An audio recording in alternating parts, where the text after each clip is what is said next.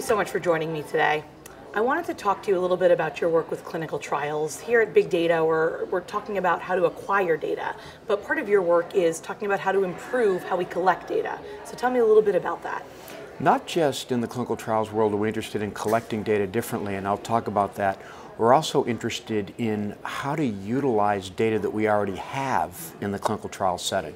So let me separate them. Okay. And in the first, we're very interested, for example, in the notion of can we use smartphone technology? Can we use social media to actually collect information for uh, clinical trials? Can we get your demographic data that way? Can we get your follow-up data that way? So we're, we're embarking on a number of projects uh, where we're using digital technology, social media technology to try to improve the clinical trials process. On the other side is what about data that already exists that traditionally has been used for observational mm -hmm. research? We're trying to embed randomization on top of that. For example, in the EHR, the as the clinical health record. Use the electronic health record as the clinical trial data set. Hmm.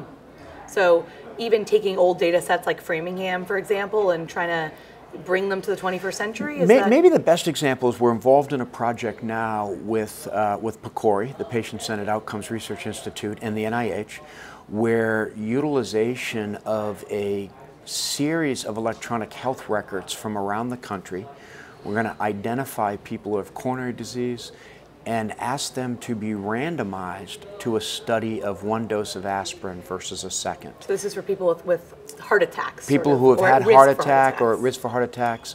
And, um, and no one actually knows what's the appropriate dose of aspirin, which seems crazy. It we've does seem used, crazy. How do we not know that? We've been using it for 100 years. Nobody's actually studied it. Wow. And now we're going to try to utilize the data from the electronic health record to study it. So what would be the next question that you'd want to tackle with this data? If this works, and I always put the big if, and to me, the, the aspirin question in some ways is a fairly pedestrian question. It's like, you responded the same way most people do, which is what? We don't know that?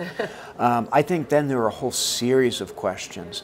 It's interesting in cardiology, which is my field, um, only about 25% of what we do in cardiology is actually supported by the highest level of evidence, meaning randomized clinical trials. So when you say, what are you going to do next? We got 75% of what we do so that we, have we don't have all of this. We have a whole bunch of things we, would like to prove. We'd like to, you know, know different doses of ACE inhibitors, uh, drugs that you might take for high blood pressure or for heart failure. We'd like to understand um, how much exercise do you need, how much sleep do you need for cardiovascular health. There's so many things that we could study that I think would provide important insight to patients and to providers if we had better methods to do it. As a physician, I'm recommending many things to my patients, and it sounds like you know, I feel a little bad a lot about it's not backed by evidence. It's interesting. It's if, if patients really understood how little we definitively know, I think patients would be even more excited about helping us answer these questions. I totally agree with you. Thank you so much for joining me today. Thanks for having me.